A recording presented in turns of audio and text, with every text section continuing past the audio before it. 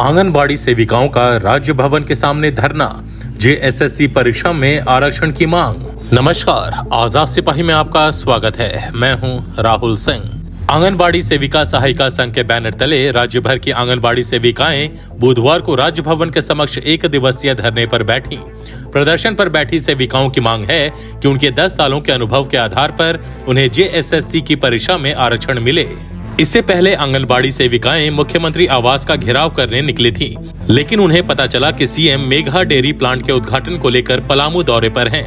ऐसे में सभी महिलाएँ राजभवन के सामने ही धरने पर बैठ गईं। संघ की प्रदेश अध्यक्ष सीता ने कहा कि आंगनबाड़ी सेविकाएँ सरकारी योजनाओं का लाभ जन जन तक पहुँचाने में अहम भूमिका निभा रही हैं।